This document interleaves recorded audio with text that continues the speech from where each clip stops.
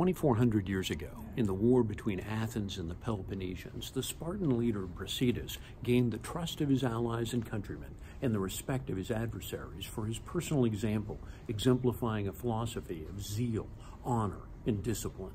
Even under tremendous pressure and at great personal risk, he held fast to these core values and used them to inspire his followers to great victories. Today's military leaders must do no less, living within a moral and ethical framework that includes honor, courage, and commitment, but also competence and character. In crisis, we do not rise to our own expectations, but rather tend to fall to the level of our training. This means that whatever we do, each day we must prepare for the day that we will be tested. The way to do this is to have a personal framework for making proper decisions in the defense of our nation lead well this week.